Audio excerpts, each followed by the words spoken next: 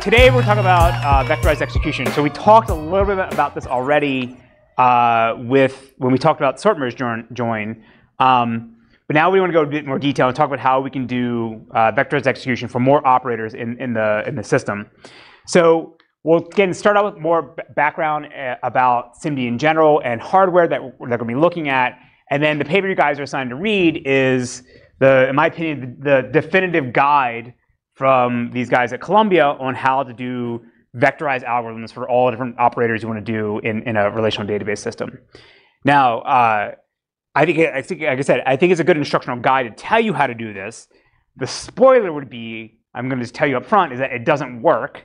Uh, now, let me rephrase that. It doesn't, the assumptions they make about the operating environment are not realistic. It, do you ever take a guess? Do you ever know what, they, what, what, the sort of two major assumptions they made that, in, in, given that what we've talked about so far, we know are not going to be true?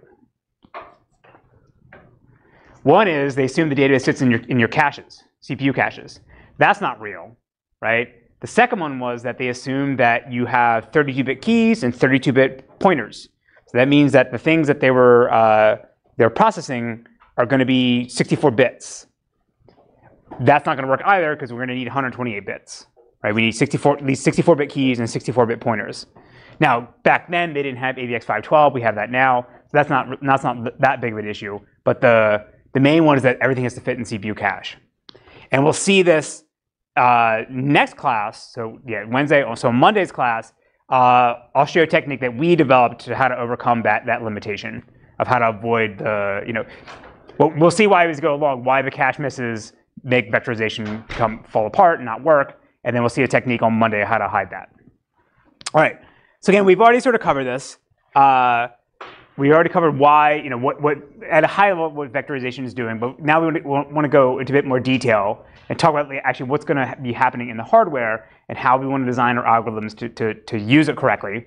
So the idea of vectorization is we're basically taking an algorithm that we would normally process a single data item at a time with a single operand, Right, this was the SISD, single, single instruction, single data uh, that we showed before. And then instead what we're going to do is have a, use a single operation to process multiple items of data at the same time. Right? And it should, should sort of be obvious given that we've talked about so far why we actually want to do this, but to put into context of everything else we've talked about, the speed up we can get if we can vectorize our, our operations are going to be quite significant. So we've already seen how in, to do the hash join, to do our scans, to do our merge joins. We already see, so we already know how to do parallel scans, right? So say we have 32 cores, we can have all 32 cores scan our, our database at the, our tables at the same time. But now say that if every single core has four wide SIMD registers, so four wide means that it can process four data items uh, uh, at, at a time per instruction. So if we can run uh, we can run on 32 cores and get uh, a four times speed up on each core, then it's multiplicative. So at 30, at, for all 32 cores, you're getting a 4x speed up because every single core is processing four data, eight items at a time. So that means we're getting 128x speed up, uh, which is massive. Right? So this is this again. This is why we want to do this.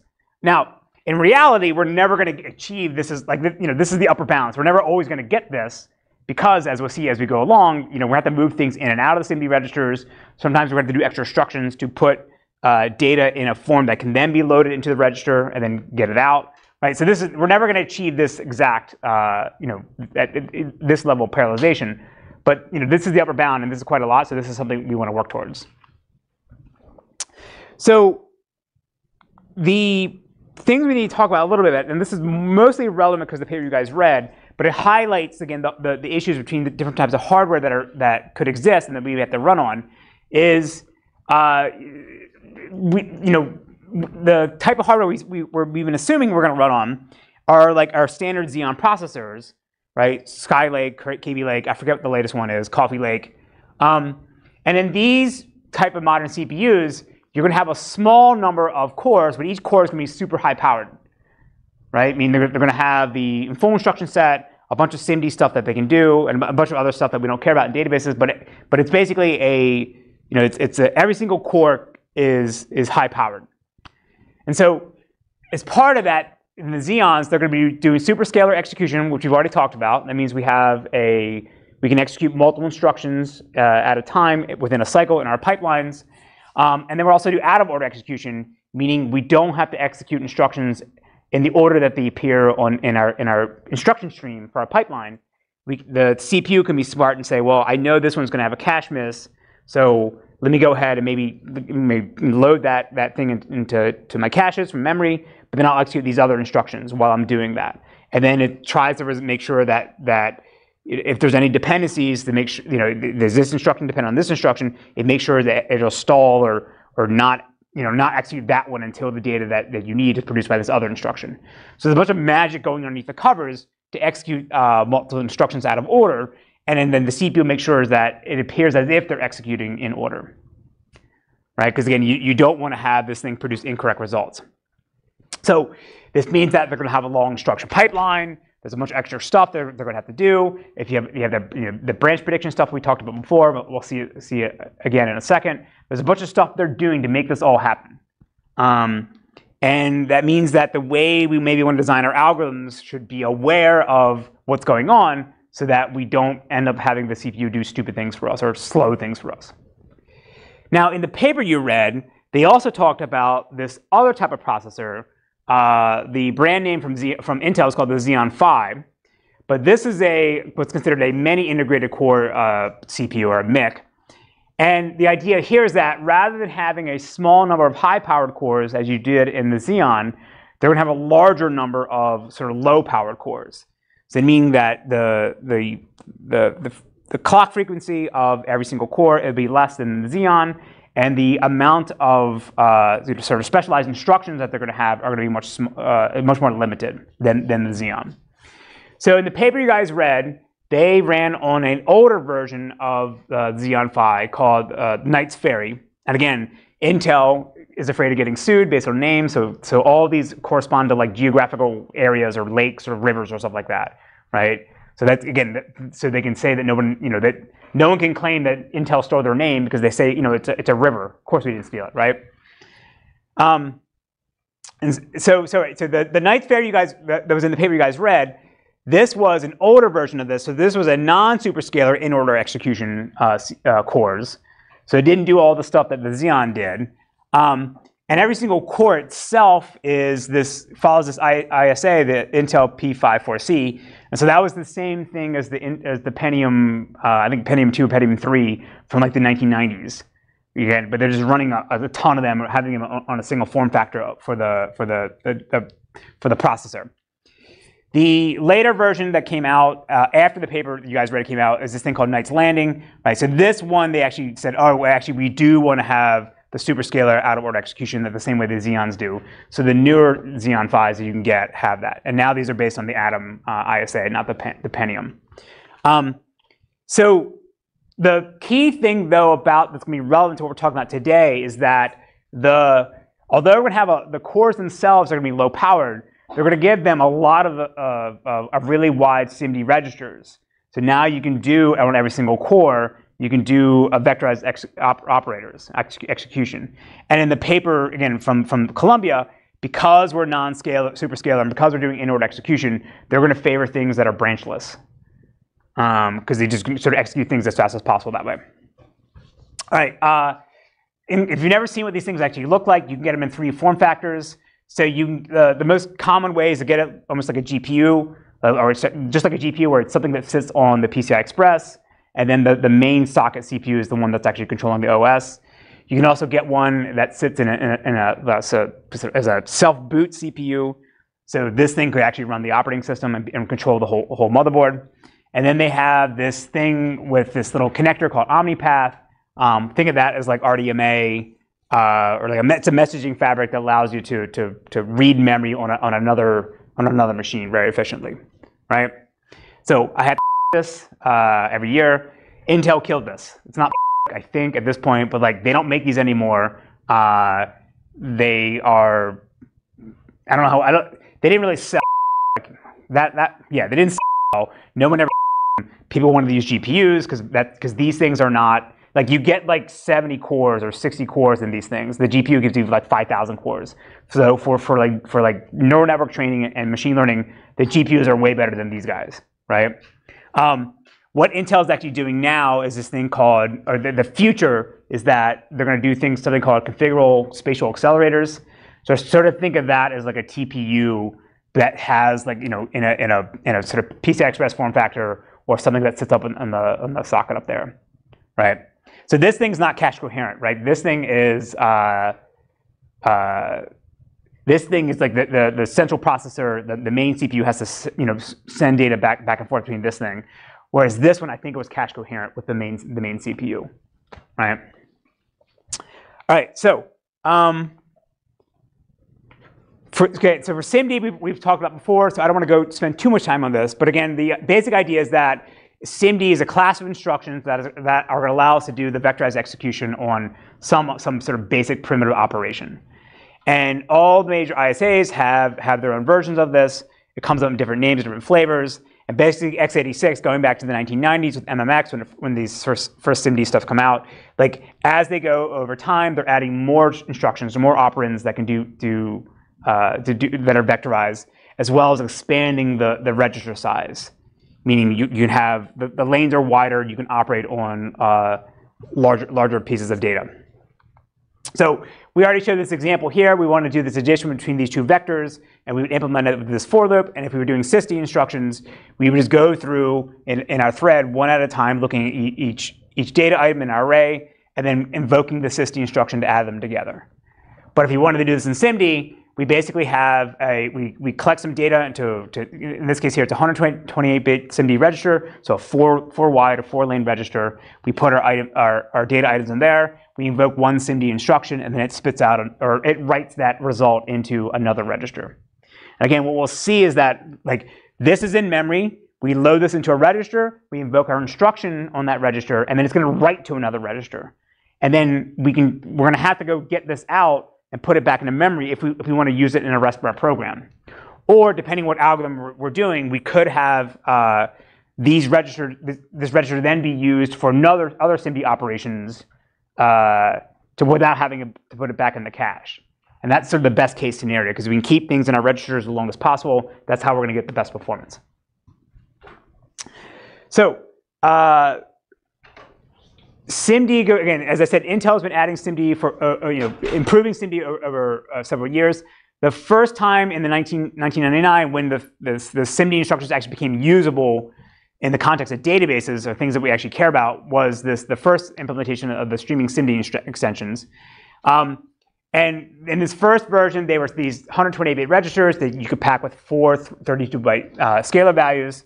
Um, and then this first version also, or this the first version of, of SSE allowed you to invoke SIMD instructions while the main CPU was doing other stuff.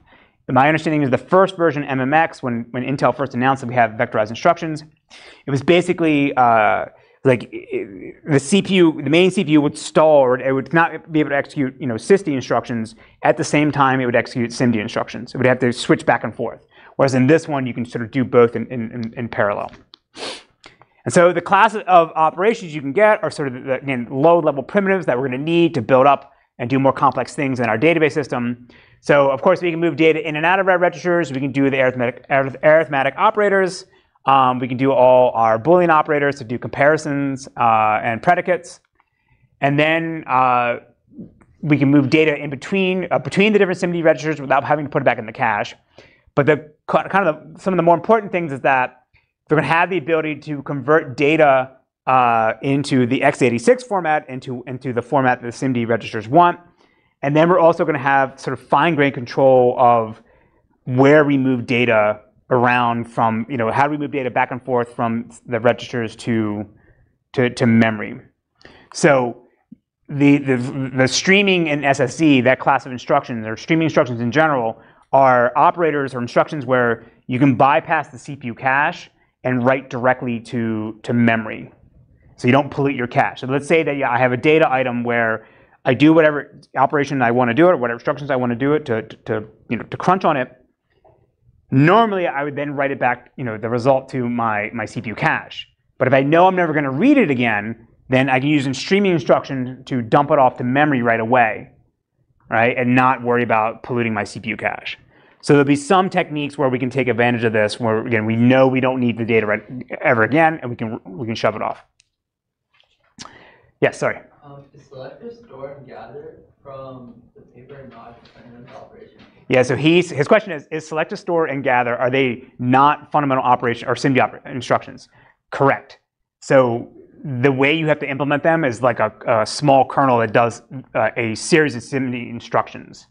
So there's no like selective store instruction to do exactly what the paper describes. And then every year I Google this and see whether the, does this actually exist. Uh, like does does the Xeon actually support this yet?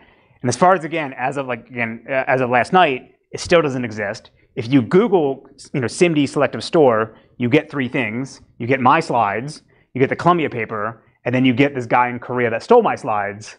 Um, so as far as I know, it, it's it, you. Yeah, there's no single instruction to do this. All right.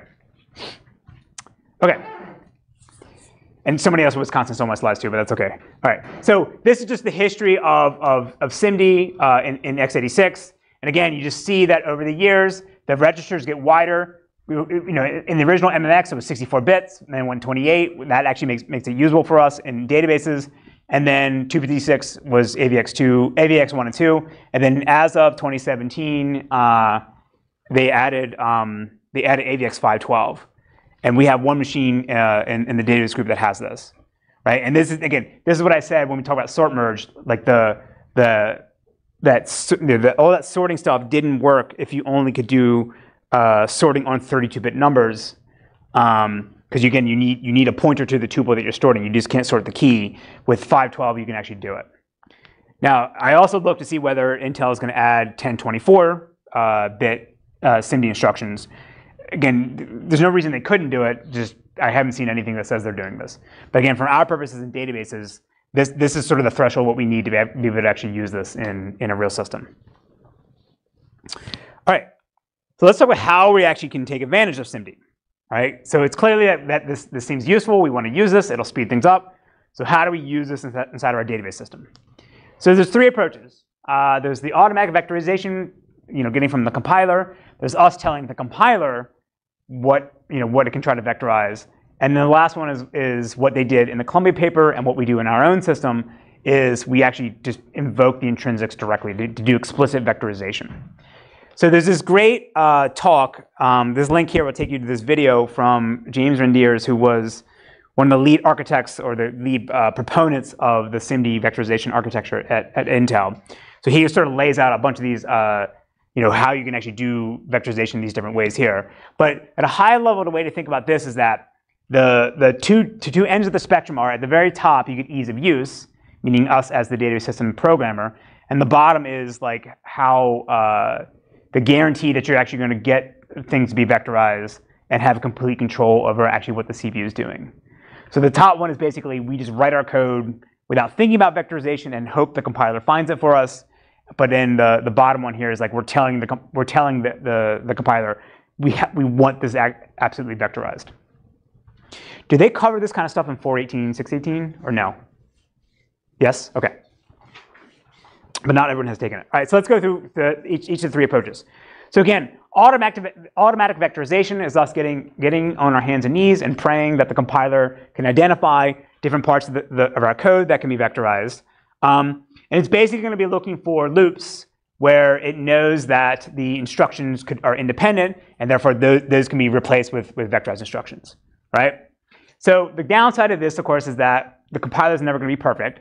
Um, and in many cases in our database system, the, the, the, the, candidates for vectorization are going to be rare, right? Because our loops are usually not going to be that simple. Now, remember I talked about Vectorwise, they had those loops, those primitives, they were doing like, you know, a scan on a column and applying different, uh, uh, you know, predicates.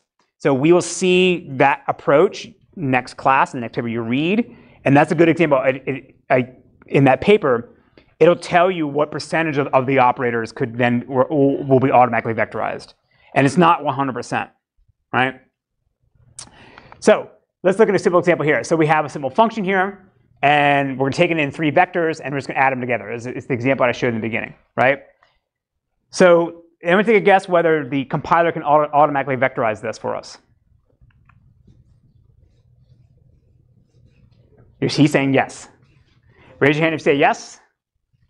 Raise your hand you say no. Raise, raise your hand you say you don't know. Good. All right, good. The answer is no, right? Why? Well, what are we doing here? I did that and the y can be over. What's that? I did that the y can be over. Correct, yeah. So X, Y, and Z might actually be pointing to the same address, right? This, this, is, this is something we don't know until runtime because we don't know what the values are going to be passed into us. So Z could just be the address of X plus you know, some offset. So in one iteration of this loop, I'm going to write, you know, write, write, to, uh, write to Z, but that's going to write to something in X, right? So this is not like unrolling, right? Unrolling would just say, just, just replace this with the instructions executed, you know, all in a row, right? This is trying to take a bunch of data uh, at the same time and then invoke a single instruction. So if there's a side, if there's a, if, if one of the, one of these addition operators modifies the, uh, the contents of one of our arrays, then we're not going to see that in our vectorized operation because it's going to happen atomically, right? So this is, this is sort of the, the downside of C or C++ is because we're writing our code as humans in a way, we're describing what we're trying to do in our, in our algorithm in, in sort of a sequential manner, right? Iterate over this and, and do this one by one. But what we really want is, is the hardware to be able to execute this in parallel in, in, in a vectorized form, right? All right, so this, so again, this is what I was sort of saying. Like, like it just seems like this would be super trivial. Add two, two arrays together and produce a new array. Seems like this is something the compiler could find for us, but it, it actually can't. So how can we fix this? One approach is to use compiler hints. So basically, we're providing information about the to, to the compiler to tell it that the code that it's examining as and, you know as it's building it, we, we're going to let it know that this it's going to be safe to vectorize. And this can be done in two ways. One is we say we give it sort of uh, explicit information about the data, the memory locations of the data that, that we're trying to operate on, and can tell it that they, they're not going to overlap, and therefore it's safe to vectorize. Or we just, you know, we're driving our car and we, we take the seatbelt off. We say, ignore all dependencies that you may be looking for, and you'll be fine. Just go ahead and, and, and vectorize this, right?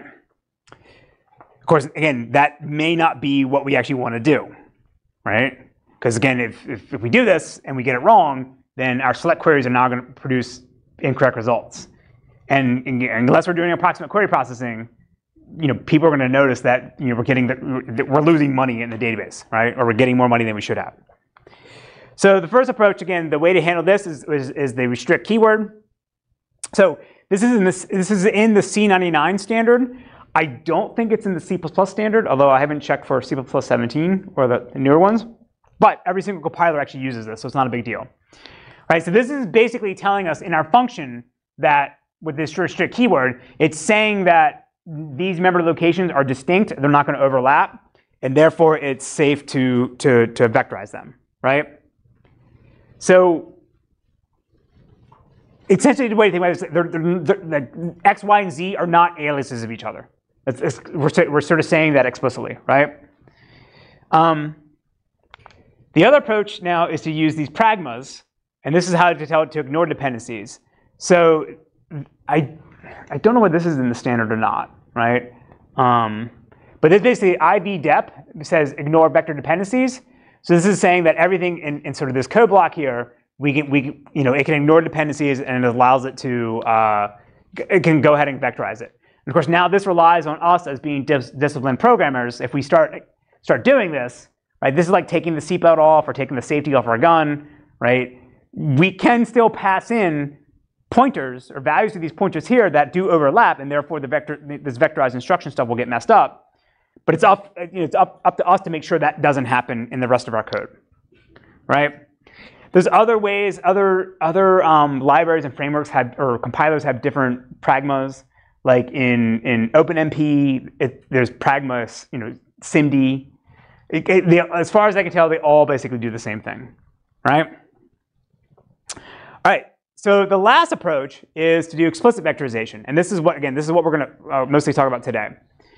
Um, and the idea here is that we're going to use CPU intrinsics to tell, to basically invoke the exact instructions we want to invoke to do our vectorized operations or vectorized primitives, right? Now the downside of intrinsics, right? Intrinsics are basically syntactic sugar for humans. It's basically a, it gives you, uh, it looks like a function, but it's really a, it's a really just the, the low-level assembly instruction that does the SIMD operation. And the downside is that they're not going to be portable. Like all the examples I'm going to show you here, they're all going to be x86, you know, either AVX2 or SSE, you know, intrinsics. Then if you, if you go try to plop that on your Power PC machine or your, or your ARM machine, they're going to have different instructions or different intrinsics and it won't work.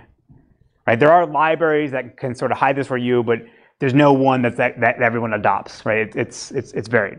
And as far as I can tell, most people write you know, x86 code for databases and, they and they, they do SIMD, they're going to do, they're going to do these intrinsics.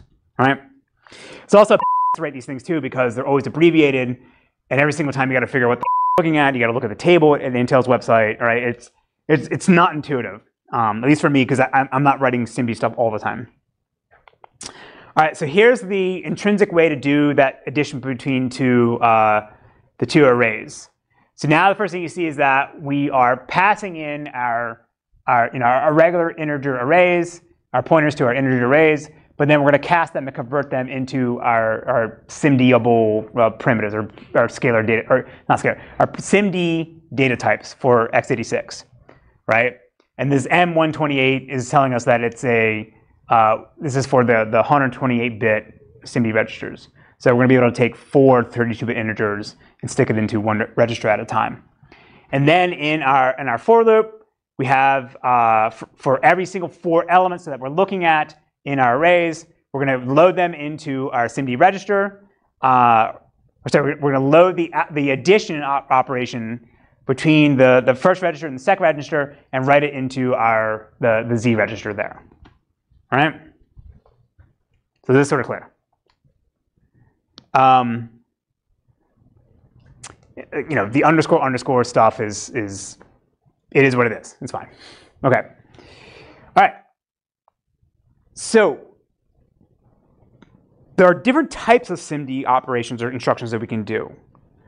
Um, and the way to think about this is like, it's the, in what direction are we applying our vectorized instruction and producing the output? So the first is horizontal uh, SIMD instructions. And the idea here is that within, within a single SIMD register, I'm going to do whatever the instruction that I want to do for all the elements inside that register and then write it out somewhere else. Right? So say I have a SIMD register that has the number 0 to 1, 1 2, 3. If I have a SIMD addition that's doing the horizontal operation, it's going to add 0 plus 1 plus 2 plus 3 and then write it out to 6. Right? It's horizontal with, within the register. The vertical instructions take uh, take elements across two, two, uh, two different registers across the same lane, apply the instruction, and then write them out to, a, uh, to another location. Right? So this is taking zero at the first position here and one here, adding them together and producing one. One and one produces two, three and four, and so forth. Right? So the first approach is only really found in newer CPUs, the horizontal ones. Um, so it's in SSE4 and, and AVX2, so new meaning like you know last 10, 8, year, 8 10 years. Um, the vertical one is, is pretty, pretty much supported by everyone. And in the, the Columbia paper, they choose this approach. They're always going to do the vertical SIMD stuff, right? But in the back of your mind, just be aware that you could do this. You could do the horizontal one. But for their purposes, uh, they're doing nothing but the, the vertical one. So the kind of things now using explicit uh, vectorization that we're going to be able to, to support in our database system are essentially all the low-level primitives uh, of sort of not even within the, the, query plan, but just like within a single operator query plan, all the stuff we have to do in order to execute and process data, we can start vectorizing those things and use those as building blocks to do more complicated things. Right? So we're going to be able to do vectorized predicate evaluation and compression. Then we saw last class how to do vectorized sorting and merging. And then we can do even more complicated things like doing hash tables, which we'll cover here today. So we sort of start small with, with, sort of small vectorized operations and then use those to build more complex algorithms or more complex techniques, right? So again, that, that's part of the reason why I like this paper so much. All right, so again, the Columbia paper, uh, it's not a real system. It was just a testbed system that really only has the algorithms So you know they're not actually supporting SQL. They don't have a query processor or anything like that. It's just like here's a bunch of data that's in a columnar format, and then here's the, the little kernel of the algorithm that's been vectorized. So the paper again, but lays out a, a, a, clear example of how to vectorize a bunch of the, the core things we care about in our database system. Um, and the two overarching principles in, in, in, their decisions of how they design their algorithms are that, as I already said, they're going to support ve vertical vectorization over horizontal vectorization. By, again, by, it means processing data uh, in two registers across the same lane offset. And then they're going to maximize the lane utilization by making sure that every single time they invoke a SIMD instruction, they're always producing useful work. And what I mean by that is like, uh, they're not going to have you know useless data in our SIMD registers. They're going to oh, they're going to they're you know say I, I say I, I, do some operation in, in, a SIMD register, and then some data I want to keep, some data I I I I, uh, some data is, is the correct result. Some data I need to process more. They could just keep using the same registers over and over again, essentially doing wasting work in some of the lanes. But instead, they're going to go back and get more data and make sure for every single SIMD instruction they invoke, every lane is actually being uh, is actually doing something useful. This doesn't make sense now. It'll make more sense when we talk about the hash table stuff, right? It, it, it should click right away. All right, so the things I want to talk about first are how the low-level fundamental operations that we're going to vectorize. And again, we're going to build up from these and then start to do more complex things like the hash tables or, or the histograms, right? So we do selective load and store and then selective uh, gather and scatter. And as Tanuj already asked, for uh, these two guys here, there's no SIMD instructions that actually do it. They're going to emulate it with multiple SIMD instructions. For the gather and scatter, I don't think the CPU that you guys read in, the, in that paper supported these things. I think AVX 512 does have it though, um, in, in the newer CPUs. All right, so the first one is selective load. The basic idea here is that we want to take some contents we have in memory and store them out to specific lanes in our SIMD register. So we have, again, this is, this is memory, but it, for, for, I mean, it's, it's the CPU cache, right? But it's, it's yeah, it's, it's not a SIMD register, it's, it's the CPU cache, but I'm saying it's called a memory. And then this is our, this is our four lane vector that we want to write into. So then we're going to have a mask that's going to tell us where do we actually want to store data, right? So again, the, the way to think about it is that these are matching to the same lane. So whatever offset you're in the mask corresponds to this, this lane in the register. So for this first one here, the, the mask is set to zero. So we're going to go ahead and skip that. That's basically telling us that we're not going to write anything into this lane here. And what's going to happen is that as every single time we have a 1, we're going to take whatever our current position is in memory and write that to that particular lane, and then move the cursor over by 1 here. So this guy here is a 1, so we're going to go ahead and write the, where our cursor starts off at, at U, and we're going to write that into this lane here. Next one is 0, so we skip that. Next one is 1, so we take the V here and write it out to that, that lane there. All right? Selective store is the reverse. So the, uh, the, the top is our target. We want to take contents of our vector and write it out into memory. And same thing, we have a mask that's going to tell us whether we actually want to write data here. Right? So, so the lanes match up just like before. So the first one's a zero, so we skip that. The next first one is a one, so it says we're going to take whatever is in this lane and write it out to the first position there. Next one's zero, skip that. Then we have a 1, and then write the, the, that lane out to this position here. All right? So again, the idea is that we, ideally, we want this to be vectorized uh, and to have one instruction just do this for us. In practice, that's not going to be the case. All right, so selective gather. Uh, this, is, this is different than how we describe gather and scatter in a distributed database. Distributed database gather scatter or scatter gather is you take a single query break it up into to, to sort of plan fragments, scatter them across the different machines, and then gather the results back. Right? This is this is within the single memory context. All right, so again, for this one here, we have a value vector, we have our index vector, and what's going to happen is these are going to correspond to offsets in our in our, our, our sorry, in memory. And so what will happen is this one here will tell us that we want to take whatever is that offset to, 0, 1, 2, and write it out to this lane here. Same thing, right, for all, for all the other ones. So this is basically allowing us to take some chunk of memory. I think it has to fit in, in, in our cache line, right, because we don't want to, like, you can't jump too far ahead. Um, but it's going to allow us to take memory that sort of can be in any any order and write them out to the order that we want in our in our register like that.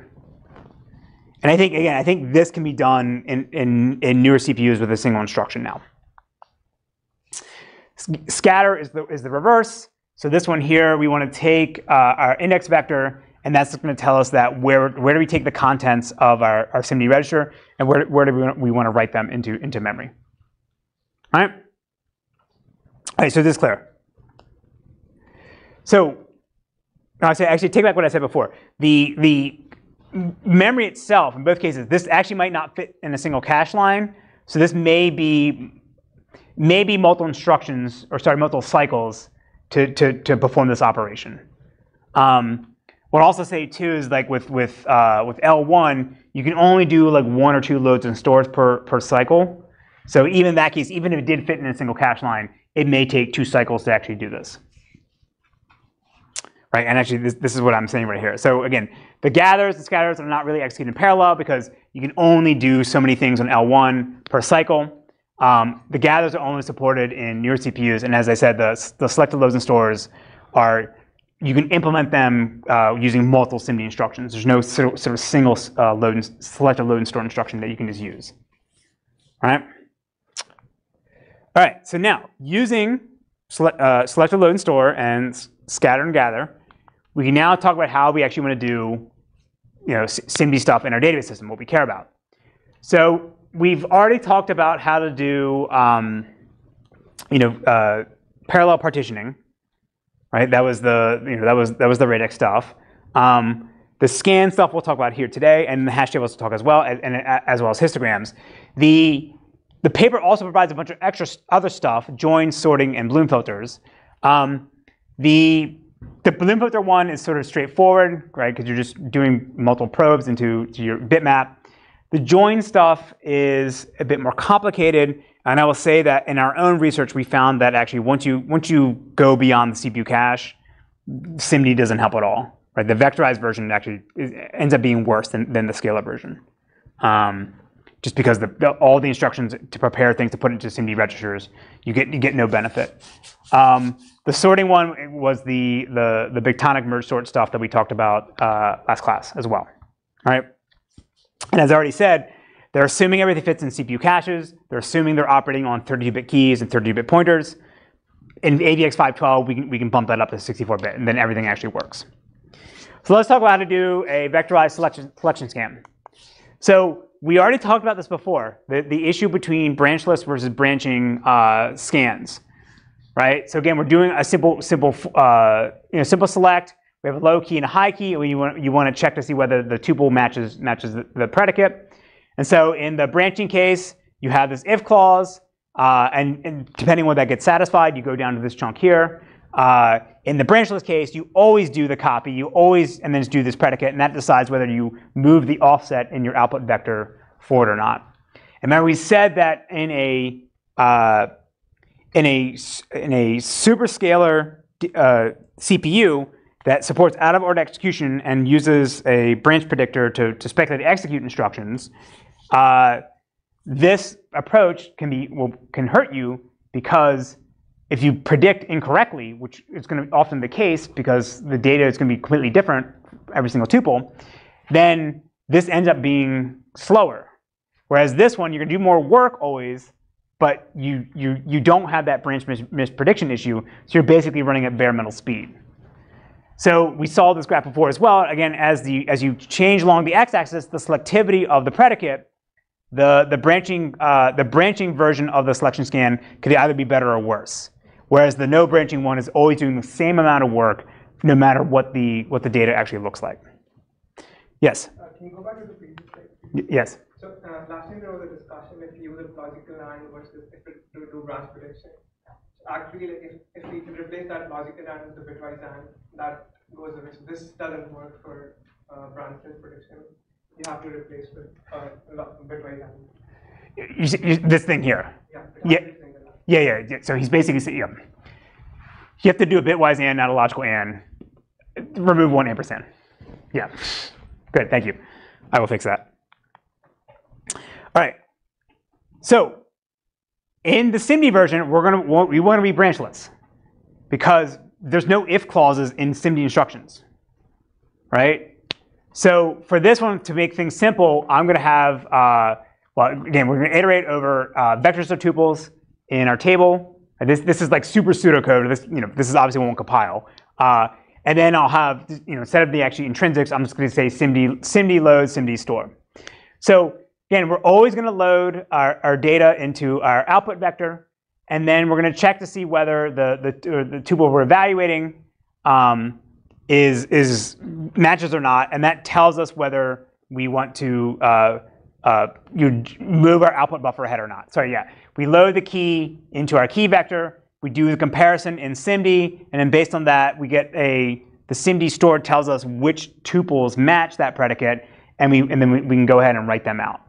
So the key part is sort of, you know, this can be done in a vectorized manner, but this one here, we're relying on the, the again, the, the, selective store to make sure that we only, whatever tuples actually match our predicate, we get that mask, and that tells us which ones we actually want to write out to our output buffer.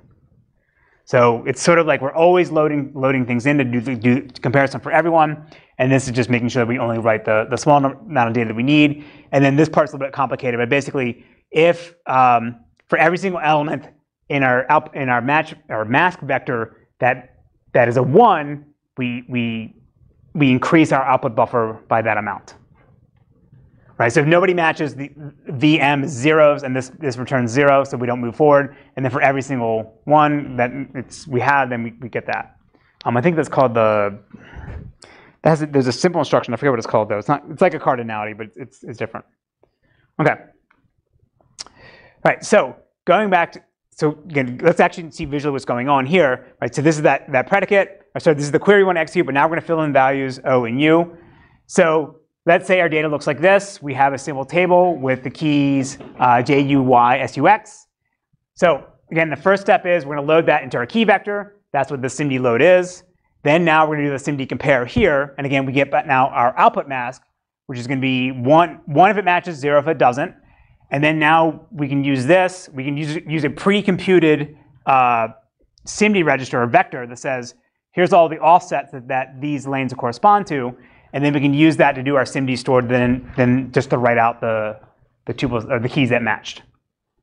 Right? Is this clear? So like I said, uh, when you do when you Google like selective store, selective load, uh, there, there's it's only papers that it's only slides or discussions about the Columbia paper itself. And then I know people are copying my slides because people also copy uh, joy sucks in here, right? huh. But not not knowing what it is. Anyway, Joy was my former my, my, my first PhD student. He doesn't suck. He's awesome. Anyway, okay. So look at, look at some results here. So again, this is an older version of the Xeon Phi. That means that it's going to do in order execution and therefore like it's not going to have any benefit of the branchless scan because it's not going to do that speculative execution and have any branch prediction problems, right? So when you look at the branching version, right, the this one is actually going to run faster because it has way more cores. Um, actually, what's surprising is that it's this is not a typo, right? Every year I, am like 61 cores. That doesn't sound right, right? It really is 61 cores. I don't know why it's an odd number. Like you think it'd be 62 or 60, 60 but no, it's 61. Um, so the the the the Xeon Phi is going to perform better because it has way more cores than the Xeon. Um, but when you look at the the branchless version, it does worse than the branching version because again, it's doing it's always copying things even though it's actually not going, going to need it.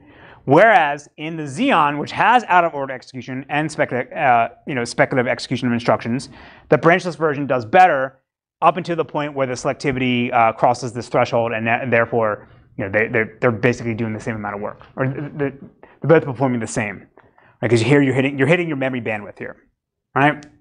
So again, I love this graph because it shows you clearly the difference between branchless versus branching in an in-order versus an out-of-order uh, CPU pipeline. So let's look at that, the, the, the vectorized execution. So they're going to have two implementations. They're going to have one that does early materialization and one that does late materialization. So late materialization means that uh, you don't actually copy the tuple that satisfied the, the predicate. In the output buffer of the of, of the, the scan operator. Right? You, you're going to materialize it some later part in, in, in the, the query plan. Of course, now as I said, this is not real database system, so they're never actually even doing that late materialization because they're not they're not executing anything beyond this filter here.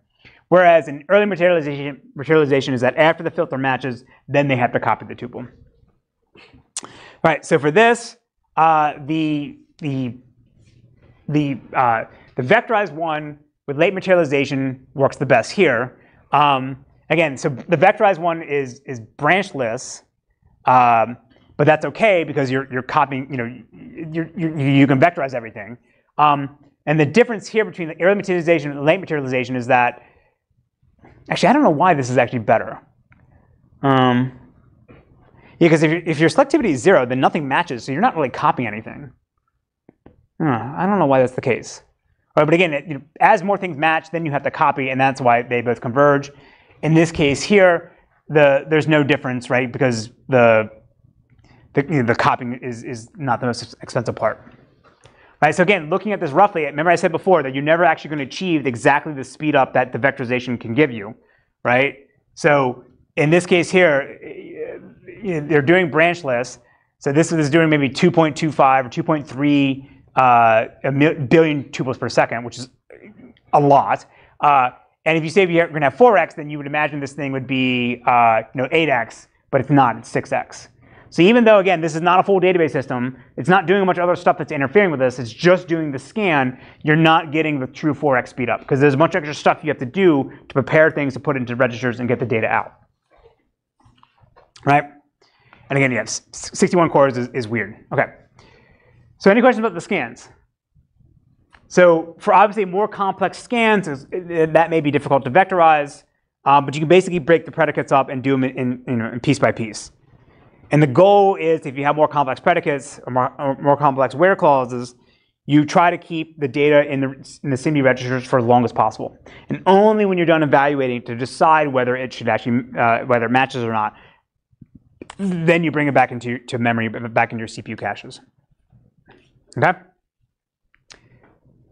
All right, so let's talk about how to do hash tables now. So for the, the scalar non-parallel version, non-vectorized version, it's pretty straightforward, right? We have an input key, we're gonna hash it, the hash gives us some offset in our, key, in our, our hash table, and assume we're doing linear probing, right? We just jump to that location and then do our comparison between whatever our key is and whatever key's in there, and if not, it doesn't match, we just keep scanning down until we find the match that we're looking for, right? Again, we can do this in parallel. We can have multiple threads do this probing in parallel, but now we're talking about within a single core, how do we make that core itself run in parallel with, with vectorization? So there's two approaches to do this, right? The first one is to do horizontal uh, vectorization. And the idea here is that we're going to expand out now within each slot in our array, or in our hash table, each bucket now is going to contain four, four elements, four data items. So we're going to have a, a, vector of four keys, and then we'll have a, a vector of four payloads, so the, the, actual tuple itself. So for a given single input key, right, we get now our hash index, and then we're going to jump into this, this location here, and we're going to get back four keys at a time that we can then apply our, our, our, our SIMD compare on. We'll get back a, a mask that'll tell us which, which of these tuples, uh, which of these keys actually match. match. If zero, if they're all zero, then we know we need, we need to go down to the next one and do, do another, another comparison. If we find at least one match, then we know we found the key that we're looking for. And we can do some arithmetic or some, some, some bit shifting to figure out at what lane our, our, our one is actually in, and that's going to tell us which one we actually want. All right? So this one actually I think is pretty decent. Uh, the what are some downsides of this? No, I, I mean this, this, this works. This is this is fine. Wouldn't this require some blocking if you're doing concurrent inserts? His question is, would would this require some blocking if you're doing concurrent inserts? No, because you would do a, you do a compare and swap on the on the key slots. Okay. If you get it, then then you're in. All right. Um, yeah, this seems reasonable. I forget why this didn't this didn't work as well when we actually run it. Um, yeah. Okay. The other approach is to do this in the, the vertical one. Um, So actually, going back to this, I, I think the, as I said, the only newer CPUs support the horizontal vectorization, but that's okay because the newer CPUs have it, and you know we're not living in the past. Um, I'll have to check with my student why, whether he actually implemented this way and, um, and what happened. Okay, I'll, find, I'll try to find that find that out by Monday. All right, let's see how we do this uh, using vertical uh, uh, ver vertical vectorization. So for this one, instead of hashing, looking at a sort of single key at a time in our probe, we're going to take a vector keys and do our lookup in parallel in our hash table. So we have four keys here. Then we're going to hash all of them. So this is not going to be in parallel, right? This has to be done sequentially. I, there's no, as far as I know, there's no SIMD hash function we're going to want to use. Like murmur hash is more complicated than what can be done in a single instruction. So this is this is done in a scalar form, but then we fill out in fill out our, our hash vector, and now that's going to jump to a bunch of different locations. And so we're going to go do a SIMD gather to pull in the the keys that we matched on into a SIMD vector, and then now we can do a SIMD compare, you know, across lanes to see whether we have we have matches, and that gives us our output vector, right? Or, or our mask to tell us which ones actually are going to match. So in this case here, for key one, two, three, four, we only had a match for key one and key four. So again, we have a one here and a one here and two zeros in the middle. So this goes back to that point I was trying to make before about always utilizing our, our lanes. So what can we do here? In, so say we know that key two and key three didn't match. So that means that we need to now you know, scan down, bring in, you know, bring in the next keys, and then do our comparison again. But we know the first one and the last one already match. So if we don't replace them, then we're essentially going to be doing wasted work. So we're only going to get 50% uh, lane utilization because these guys already, we already know the answer is correct. We have what we want. We're looking for you know, the middle two ones. So unless we replace them with some new data, then they're going to be, end up being just wasted work. So what they're going to argue that you really want to do is then go back and get two new keys to then fill in uh, into our vector. I'm oh, sorry, and to, to, replace two and three. I'm sorry, replace one and four with now five and six. Right, and then for this one here, H2 and H3, again, we're just incrementing our offset by one because we're doing linear, linear probing. So there's extra bookkeeping they're going to do. When this mass vector comes out, they're going to recognize, oh, these guys already matched. So let me go back now and move my cursor down for the keys I'm scanning to get the uh, to get two new keys to then I can fill in to my, my SIMD register and do my comparison. You're making a face as in if you're confused or it's a bad idea. Simply bad idea. Yeah, it's, it's, so yeah, it's a bad idea. Well, it's it's it's just a lot more work, right? Uh, I mean, I mean, actually, when you think about it, though, uh, let's say that like if you don't do this and say three doesn't match and it never matches, that means I'm, I'm still going to rip through and you know I'm going to be invoking these instructions and not getting anything useful out of them. Um, I mean, you could say you have to do this in the scalar case as well, but this is also on the in order keys. Say it again. I said this was also on the in order CPUs. His question is: Is this also in the, in the in order CPUs? We're going to do both. That's the next slide. Um,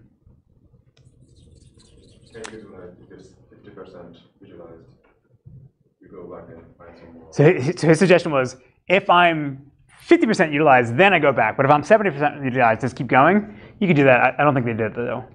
Yeah. Um, that just sounds like more more instructions. But that's not hard too. Yeah.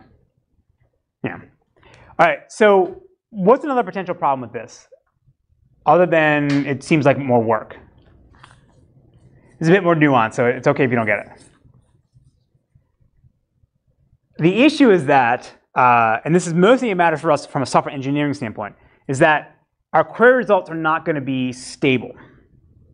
Meaning, if we execute our, uh, our we, we execute our, our join today and then execute the same join immediately afterwards, we may get a different ordering for what we put in our registers, and therefore we may get a different output.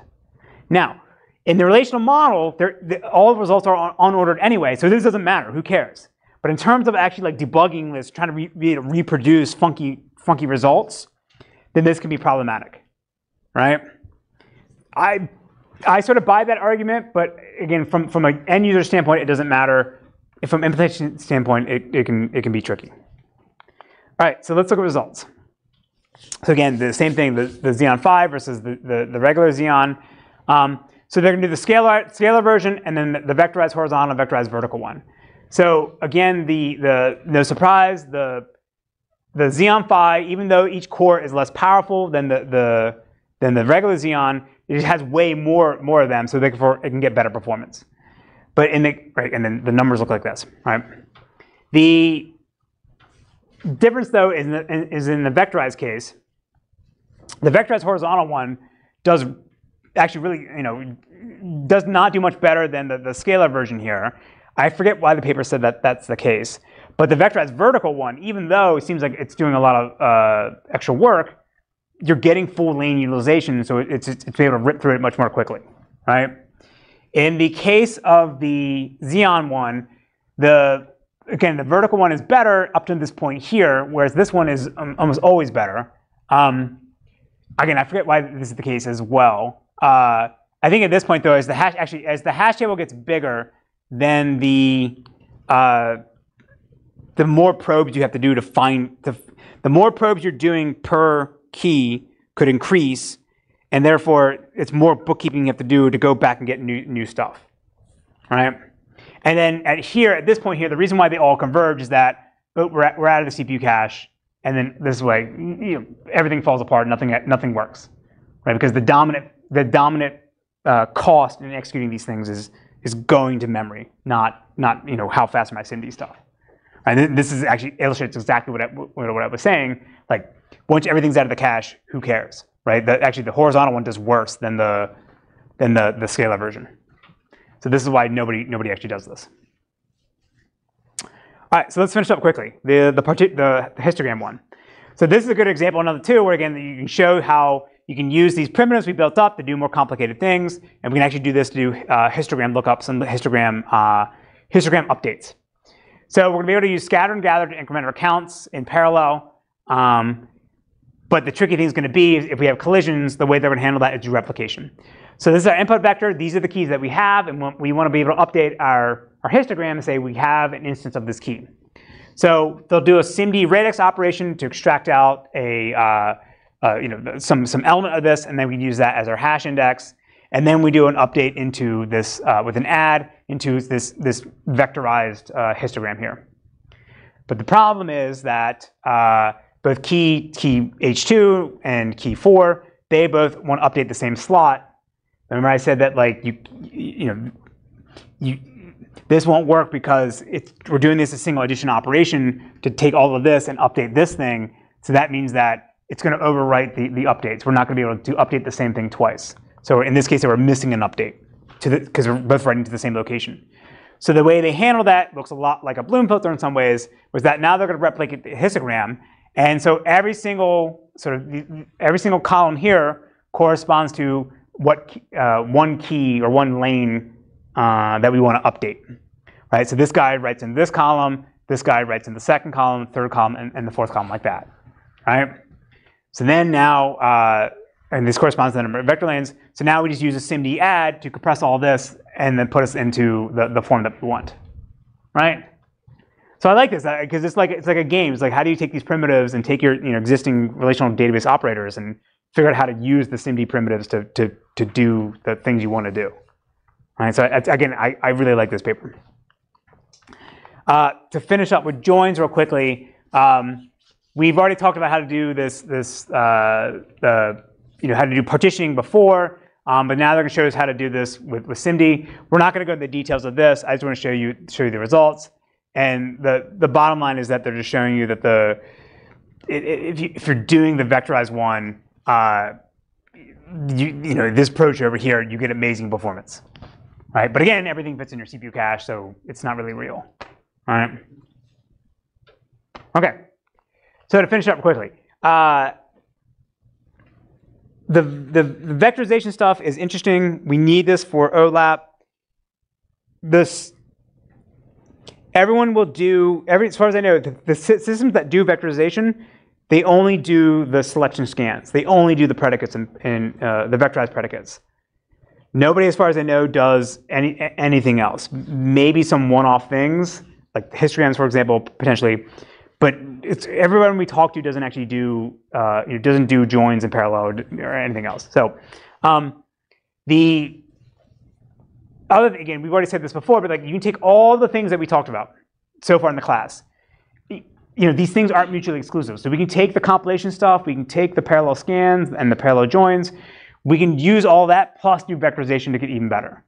So I would say, again, if you're going to build a modern system, you'd want to do compilation, you want to do vectorized uh, predicates, and you want to do parallel operators across multiple cores.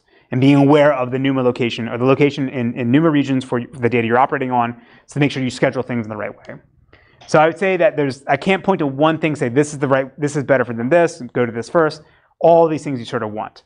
But I, I would argue that I think compilation will, will have a, better, a bigger bang for the buck uh, than vectorization because it'll, it'll optimize all possible queries where this can just operate the predicates.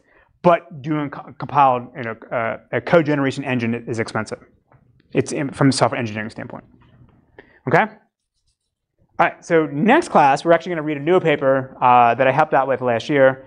Um, so this is actually now comparing the benefits you get from compilation versus vectorization. Uh, and in particular, we'll look at sort of the HyPer approach versus the, the, the Vectorwise approach. Of the, do, you, do you have these precompiled primitives, or do you try to vectorize and compile things manually using the JIT stuff from the LLVM? Okay? And then we'll also talk a little bit about the technique that Prashanth developed called relaxed operator fusion that allows you to do vectorization and compilation uh, for things that exceed the CPU cache. Okay? Yes? Wait, why can't the precompiled primitives have vectorization in them? His question is, why can't the precompiled primitives have vectoriza- vectorization in them? You can. There's no reason you can't. So why are the two things mutually exclusive? I sorry, was, they're not music exclusive. Oh. Yeah, sorry, did I say that? Oh no, I just thought it was like implied. It, it's it's more like the how much benefit do you get one versus the other? Yeah. Okay. Gotta bounce to get the 40 ounce bottle. Get a grip, take a sip, and you'll be picking up models. Ain't it no puzzle I guzzle, cause I'm more man. I'm down in the 40 and my shorty's got four cans. Stacks and six packs on the table. And I'm able to see St. On the label. No shorts with the corks, you know I got 'em. I take off the cap, but first I tap on the bottom. Throw about three in the freezer so I can chill it. Careful with the bottle, baby. Don't spill it. Cause St. Ides it says the paint Ives red. You drink it down with the guys, it'll rise head. Take back the pack of duds. They go get you some St. Ides and drink it to the suds. Billy D is the chili cheese. Sit down with the weak guys. Be a man and get a can of St. Ides.